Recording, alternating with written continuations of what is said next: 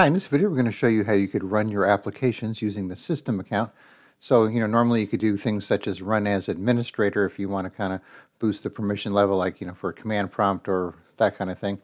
But if you need to go up to a higher level, like to the system account, then you could do so using this Power Run program. So once you download it, it's a zip file, then you just have to extract it, and you'll have your executable here. So you just double click it to run it. And then it'll have some kind of built-in suggestions here uh, for things that th things you might want to use, like the command, PowerShell, Notepad. So how it works is you just either use one of these here, or you could drag your uh, program into here, or click on Add, and browse to and add your own parameters and working directories, and so on, if you want to do it that way. And you could even do the registry editor as a command and command prompt right from these two, two little icons here. And then once you have it in here, you select it, click on Run File, and that's all you got to do. So let's open command prompt as a regular user here, not even as administrator. Okay, so if we go to Task Manager, find that command.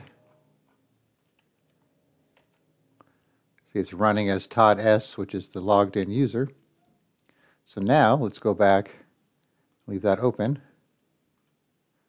And now we'll run it with the system account here. Go back to Task Manager. So now you can see it's running as a system account. And if you want to do something else, let's close these out here.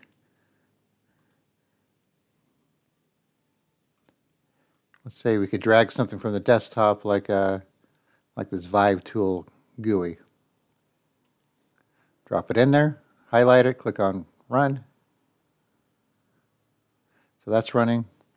Go back to task, task manager here. Let's look for V, Vive tool GUI, running as system.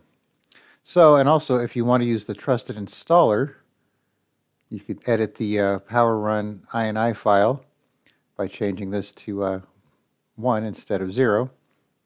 So this is off their website actually.